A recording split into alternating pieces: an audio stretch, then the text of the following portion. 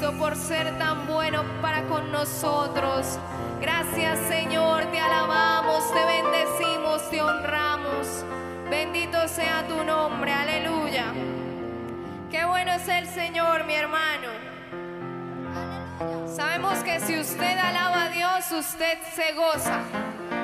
Las cadenas del diablo se rompen, amén. Bendito es el Señor. Por eso vamos a entonar ese hermoso cántico que si- se titula Si tú le alabas, tú te gozas, amén.